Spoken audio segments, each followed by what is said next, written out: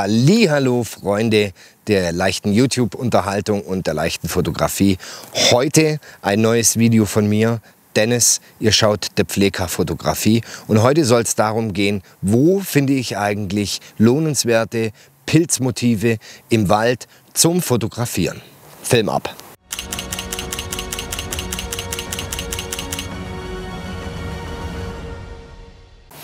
Willkommen zurück, wie schon eben erwähnt. Mein Name ist Dennis, ihr schaut der Pfleger Fotografie.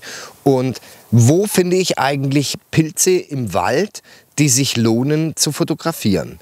Pilze sind erstmal viele oder teilweise alle lohnenswert, je nachdem, was ihr auch fotografieren möchtet. Pilze wachsen natürlich nicht immer am Wegesrand und sind am Wegesrand schön in Szene zu setzen. Deswegen besorgt euch festes Schuhwerk, eine Outdoorhose und ein paar Klamotten, die outdoor geeignet sind und dann geht raus und sucht euch im Wald eine passende Stelle, um Pilze fotografieren zu können. Pilze wachsen am liebsten in moosbewachsenen Stellen, in Fichten- und Kiefernwäldern, die offen stehen, also nicht in Reihe gezüchtet wurden, ähm, sondern offen stehen, wo auch Licht rankommt. Dort wächst am meisten Moos und sind immer wieder ähm, tolle Möglichkeiten da, um Pilze zu fotografieren. Moos, warum Moos? Feuchtes, feuchter Untergrund natürlich bester Nährboden für Pilze, um Pilze zu finden, moosbewachsenes Gebiet suchen. Es sei denn, ihr möchtet natürlich Pilze auf Baumstämmen fotografieren, dann solltet ihr Totholz in Erwägung ziehen.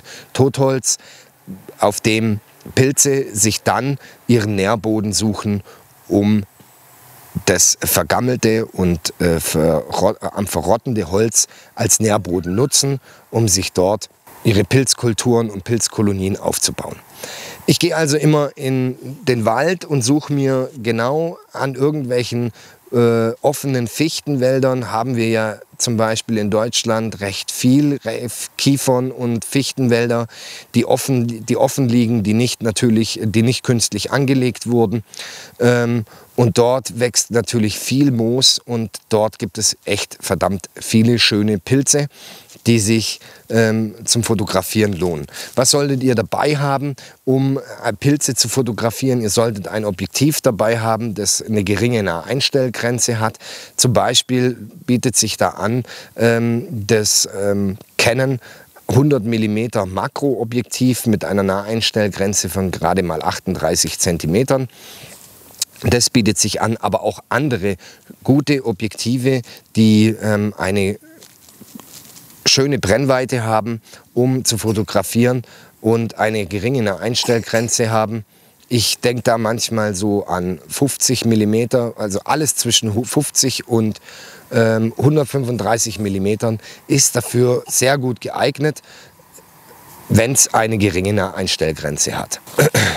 Was solltet ihr noch dabei haben, um Pilze zu fotografieren? Natürlich Licht. Licht ist tendenziell wichtig zum Fotografieren bei Pilzen, denn nichts ist schlimmer, als den Pilz nachher zu haben und zu wenig ausreichend Licht, also Sonnenlicht eventuell zu haben, ähm, weil die Sonne gerade so steht, dass der Pilz, den ihr fotografieren wollt, eben nicht ausgeleuchtet oder beleuchtet wird und ihr dann nicht richtig schön fotografieren könnt. Deswegen besorgt euch ein paar kleine LED-Cubes und ein paar Lichtleisten, nehmt die mit und dann habt ihr verschiedene Möglichkeiten, Pilze zu fotografieren und könnt Pilze so besser ausleuchten und dann richtig belichten und bringt dort dann einfach schönere Bilder zur Geltung. Was auch cool kommt, ist, wenn ihr ähm, eventuell ein bisschen Alufolie mitnehmt oder ein ähm, ähm, Edelstahlschwamm von zu Hause einfach mitnehmen. Den könnt ihr dann auch richtig schön benutzen, um reflektierende Flächen zu bilden, wo der Pilz dann komplett ausgeleuchtet wird. So spart ihr euch ein, zwei Lichter und könnt mit dem reflektierenden Licht arbeiten. Ich suche mir also immer irgendwo einen Spot, der viel Moos hat, um dort Pilze zu suchen. Natürlich solltet ihr langsam vorgehen, um Pilze zu finden und nicht zu schnell an den Pilzen vorbeimarschieren. vorbeimarschieren. Auch auf dem Rückweg, den Weg, den ihr gekommen seid, lauft gerne da auch mal zurück oder ähm, manchmal hat man nämlich einfach nur die falsche Perspektive auf seinen Weg, der vor einem liegt. Und auf dem Rückweg zeigen sich dann doch nochmal der ein oder andere Pilz, der sich lohnt zu fotografieren und den ihr auf dem Hinweg einfach gar nicht gesehen habt.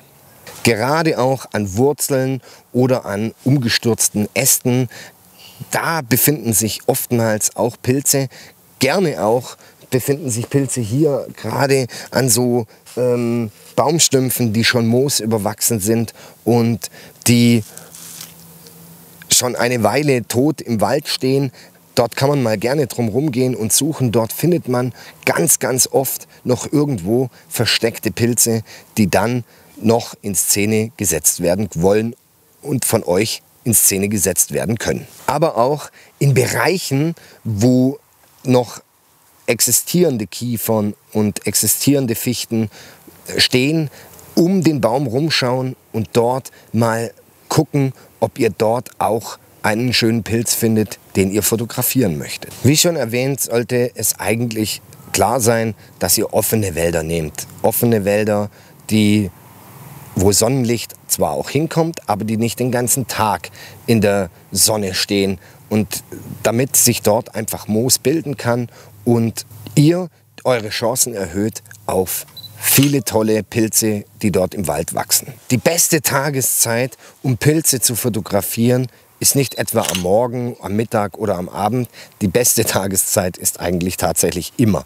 Wenn ihr ähm, ausreichend Lichtquellen dabei habt und euch Zeit nehmen wollt, den Pilz auch richtig zu fotografieren, richtig in Szene zu setzen, dann geht einfach irgendwann raus, am besten nicht direkt ähm, zu, kurz vor Sonnenuntergang, denn dann ist gewährleistet, dass euch garantiert das Licht ausgeht. Geht am helllichten Tag, geht am Morgen früh, geht am Mittag raus und sucht euch eure Pilze und eure, euren Fotospot daraus im Wald. Ihr könnt eigentlich zu diesen Tageszeiten nichts falsch machen.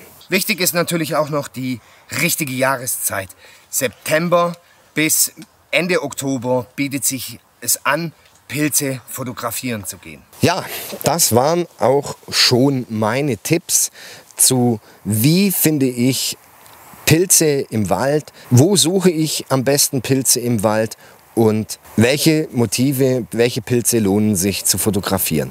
Wie schon erwähnt, das liegt ganz alleinig an euch, was ihr als schön betrachtet. Ich finde fast alle Pilze toll. Es gibt eigentlich kaum einen Pilz, den ich nicht gerne fotografiere. Es kommt halt immer darauf an, auf eure Kreativität, auf eure Ideen, auf eure Anregungen, die ihr habt, um den Pilz zu fotografieren. Da lasst euch gerne kreativ äh, ganz, ganz viel äh, Spielraum und nutzt da wirklich alle Möglichkeiten. Im nächsten Video, ähm, wie setze ich denn ich wie setze ich denn einen Pilz in Szene? Ähm, möchte ich euch im nächsten Video mitnehmen. Dieses sollte nur kurz knapp sein.